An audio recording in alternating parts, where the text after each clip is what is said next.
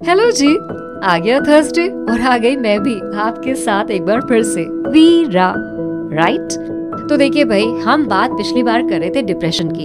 Actually लगातार ही मैं बात कर रही हूँ डिप्रेशन से फाइट करने की। वो इसलिए क्योंकि कोरोना का टाइम चल रहा है।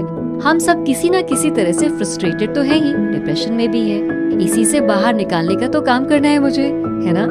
तो भाई, मैं एक चीज़ सोच रही थी ऐसा क्यों होता है कि हम अपने आप को ज़रूरत से ज़्यादा सीरियसली ले लेते हैं?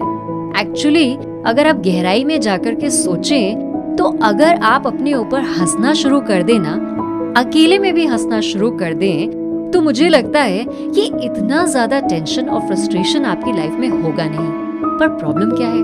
हम ना औरों पे तो हंस देते हैं, पर जब अपनी बात आती है ना तो अपने ऊपर हंस नहीं पाते हैं। बहुत सीरियस हो जाते हैं।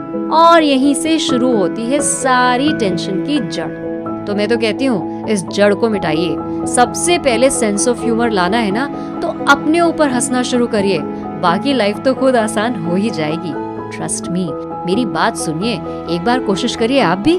मैं भी कोशिश करना शुरू कर चुकी हूँ। तो फिर मिलते हैं अगले थर्सडे थर्सडे थॉट्स में।